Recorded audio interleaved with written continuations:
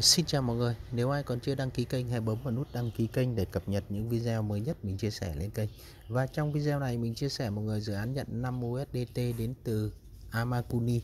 Và để tham gia vào dự án này, mọi người bấm vào đường link dưới phần mô tả, sau đó thực hiện các nhiệm vụ trên biểu mẫu ghi Plus.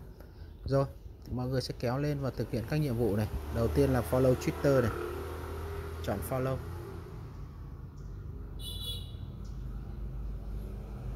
Rồi, sau đó bấm chọn theo dõi cho mình và quay trở lại. Chọn verify này. Tiếp theo là retweet lại cái bài đăng.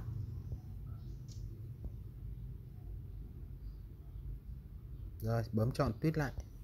Chọn like, sau đó quay trở lại. Chọn verify.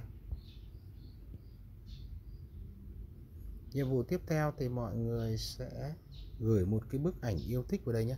Dịch sang tiếng Việt này đính kèm hình ảnh chú khỉ yêu thích của bạn vào tweet kèm theo các thẻ bắt đầu. Rồi ok. Thì ở đây mọi người có thể vào à, Google đấy mọi người sẽ tìm ảnh là con khỉ chẳng hạn. Vào Google nhé.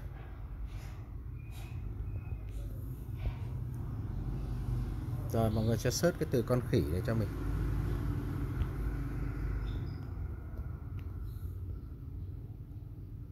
Ok, ở đây thì mọi người chọn mục sang hình ảnh đi.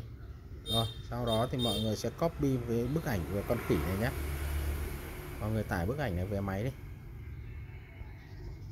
Rồi, sau đó thì sẽ quay trở lại này. Mọi người sẽ bấm vào đây. Và ở đây thì mọi người sẽ bấm vào tiếng ríu rít này. Rồi, ở dưới này thì mọi người sẽ chèn cái bức ảnh con khỉ vào. Ok, sau đó chọn đăng tweet này. Rồi, quay trở lại cái biểu mẫu của nó. Mọi người bấm xác minh cho mình. Tiếp tục là mọi người sẽ roi vào discord này.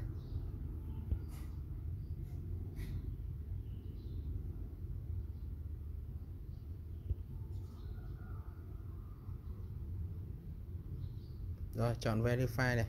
Sau đó mọi người sẽ bấm chọn vào verify để cho mình. Ok quay trở lại biểu mẫu. Bấm chọn xác minh.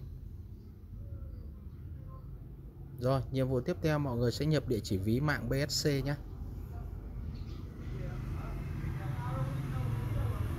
Chọn gửi đi này. Ok, và sau đó cuối cùng mọi người bấm vào đây để lấy cái đường link giới thiệu. Thì ở đây chính là cái đường link giới thiệu nhé. Ok mọi người, như vậy là mình đã hướng dẫn xong mọi người tham gia dự án. Hẹn gặp lại mọi người những video tiếp theo.